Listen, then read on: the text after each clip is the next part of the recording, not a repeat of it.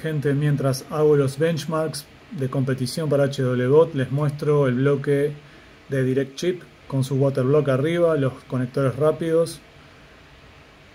Estas son las Patriot Viper Extreme 5 de R5 8200 que las corrí hasta los 9000 C38 en la Z790 Encore. Así que lo que voy a hacer ahora es quitarle el líquido porque las les voy a las voy a usar solo con los disipadores, como tengo las otras que les he mostrado.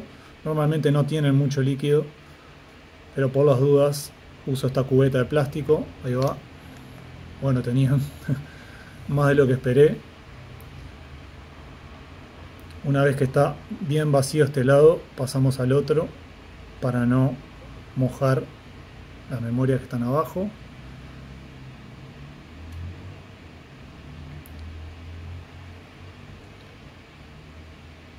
Salieron.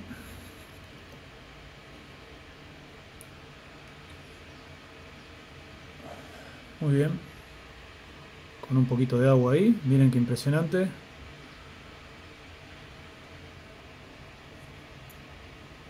Y bueno, aquí les dejo.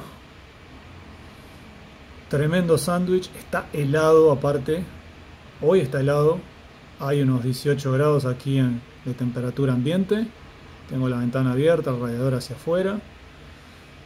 Y esto está helado realmente. Se desenfoca un, poco, se desenfoca un poco la cámara, pero bueno.